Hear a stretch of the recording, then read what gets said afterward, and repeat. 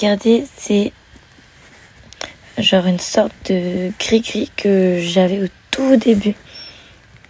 Ils sont trop beaux, trop mignons. J'ai reçu ma commande de chez Pretty et donc j'ai reçu ce bas. En ce moment, je mets que ça, des jogging comme ça. Il est trop beau. Il est parfait. Je l'ai pris en 38 ou M. Je prends toujours 38 ou M pour le bas parce que j'ai des grandes jambes. Et voilà, j'aime pas quand c'est court et il est pas court celui-là. Ensuite, donc, j'ai pris un deuxième avec un petit motif un peu plus large que le premier. Mais trop bien, trop confortable.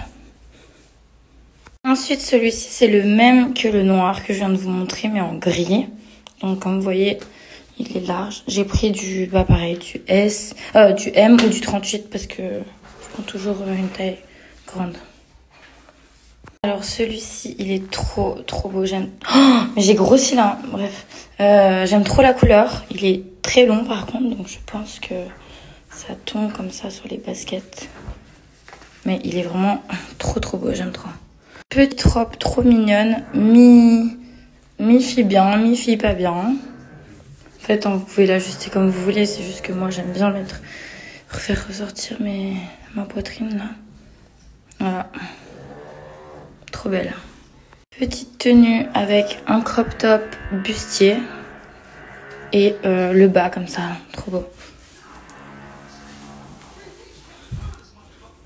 Donc je vous mets d'abord le lien du haut et après je vous mets le lien du bas. Ça, elle est trop belle. La matière, elle est toute douce. Bon, alors là, faut pas me juger. En fait, je crois que je me suis trompée dans les coloris. Euh, je pensais que la jupe allait être la même que le haut, mais apparemment pas. Mais du coup, imaginez si ça, c'était de la même couleur que ça, comme il est trop beau l'ensemble. Non